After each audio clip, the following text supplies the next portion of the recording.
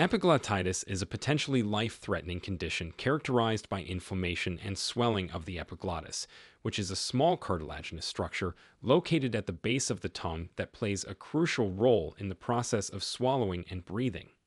The epiglottis is positioned just above the larynx and behind the base of the tongue. Its primary role is to act as a dynamic valve, redirecting food and liquids away from the trachea or windpipe and towards the esophagus during swallowing. This seemingly simple action is vital for preventing aspiration, where food or drink enters the lungs, potentially causing serious respiratory complications. When epiglottitis occurs, the inflammation isn't limited to just the epiglottis itself. The surrounding tissues, including the base of the tongue, pharynx, and larynx, can also become swollen and inflamed. This widespread swelling in the upper airway can rapidly progress to a medical emergency as the airway narrows and breathing becomes increasingly difficult, and in extreme cases, it can cause respiratory failure. Causes of epiglottitis. The causes of epiglottitis are varied, but infections remain the most common trigger. Historically, Haemophilus influenza type B, or HIB, was the primary culprit, especially in children. This bacteria could quickly colonize the throat and cause severe inflammation. While HIB is now rare in vaccinated populations, other bacteria can still cause epiglottitis. These include Streptococcus pneumonia, Staphylococcus aureus, and Group A streptococci. In adults, the causes of epiglottitis are often more diverse. Bacterial infections still play a role, but other factors come into play. Viral infections, while less common, can also result in epiglottitis. Viruses such as herpes simplex virus and varicella zoster virus, which causes chickenpox and shingles, have been found in some cases. In rare instances, fungal infections may contribute to epiglottitis. Candida species, the fungi responsible for common yeast infections, can sometimes cause inflammation in the upper airway, including the epiglottis. This is more likely to occur in individuals with weakened immune systems or those on long term antibiotic therapy. Non infectious causes are more common in adults too. These include trauma to the throat area, which can happen from swallowing very hot liquids or foods. Chemical burns resulting from the accidental ingestion of caustic substances can also lead to severe inflammation of the epiglottis and surrounding tissues. Symptoms of epiglottitis. The symptoms of epiglottitis typically come on quickly and can be quite severe. The most prominent symptom is usually a very sore throat. This isn't just any sore throat, people often describe it as the worst sore throat they've ever experienced. It can feel like there's something stuck in the throat or a sense of fullness at the back of the mouth. As the condition progresses, swallowing becomes increasingly painful and difficult. This can lead to drooling, as people find it hard to swallow their own saliva. The pain and difficulty swallowing can make eating and drinking nearly impossible. Breathing difficulties are another key symptom of epiglottitis. As the epiglottis swells, it starts to obstruct the airway. This can cause a characteristic breathing pattern. People with epiglottitis often lean forward and stick out their chin. They might open their mouth wide, trying to get more air. This position is sometimes called the tripod position because it looks like the person is using their arms to support themselves, forming a tripod shape. The breathing might become noisy with a high pitched sound called stridor. This sound happens as air tries to squeeze past the swollen epiglottis. It's often more noticeable when the person breathes in.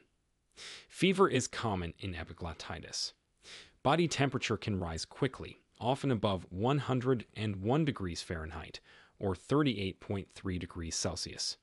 The combination of fever, severe throat pain, and difficulty breathing can make people feel very unwell. They might appear anxious or restless. Children with epiglottitis often refuse to lie down and may seem irritable or scared. Voice changes are another symptom to watch for. As the throat swells, the voice can become muffled or hoarse. In severe cases, the person might lose their voice entirely or only be able to whisper. The rapid onset of these symptoms is a key feature of epiglottitis. Unlike a common cold or flu, which might develop over days, epiglottitis symptoms often worsen within hours. Before we continue, if you have been finding the video helpful so far, Hit the like button and don't forget to subscribe and hit the bell icon so you don't miss more videos like this. Diagnosis of epiglottitis. Diagnosing epiglottitis requires quick thinking and careful assessment. Doctors need to be alert to the possibility of epiglottitis when someone comes in with severe throat pain and breathing difficulties. The first step is usually a careful medical history and physical examination. However, doctors have to be very cautious when examining the throat. Pressing down on the tongue or trying to look at the back of the throat can sometimes cause the airway to close completely in severe cases. Imaging tests play a crucial role in diagnosing epiglottitis. A lateral neck x ray is often the first test done. This x ray can show a swollen epiglottis, which looks like a thumb sticking up in the throat. Doctors call this the thumb sign. However, x rays aren't always conclusive. In some cases, a CT scan might be needed to get a clearer picture of what's happening in the throat. The most definitive way to diagnose epiglottitis is to look at the epiglottis directly. This is done using a flexible camera called a laryngoscope, but this procedure can be risky if the throat is very swollen. It's usually only done in a controlled setting where immediate help is available if breathing problems occur. Blood tests are often done to help confirm the diagnosis and identify the cause. These tests can show signs of infection, like an elevated white blood cell count. Blood cultures might be taken to try to identify the specific bacteria causing the problem. However, culture results can take several days, so treatment usually starts before these results are available. Treatment for epiglottitis.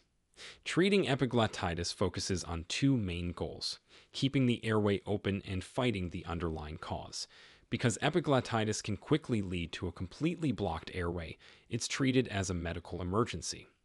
People with suspected epiglottitis are usually admitted to an intensive care unit or a place where they can be closely watched.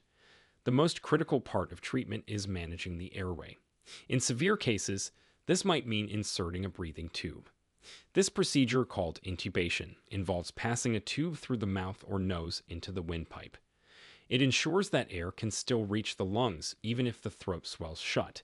In some very severe cases, doctors might need to create a surgical airway by making an opening in the neck. This procedure, called a tracheostomy, is only done if other methods fail. Once the airway is secure, treatment focuses on fighting the infection or other cause of the swelling. Antibiotics are usually given through a vein. Doctors often start with broad spectrum antibiotics that can fight many types of bacteria. They might change the antibiotics later if they identify a specific bacteria causing the problem. Steroids are often used to help reduce swelling in the throat. These powerful anti inflammatory medications can help symptoms improve more quickly. However, there's still some debate among doctors about the best way to use steroids in epiglottitis. People with epiglottitis also receive supportive care. This might include intravenous fluids to prevent dehydration, especially if swallowing is difficult. Pain medication is usually given to help manage the severe throat pain.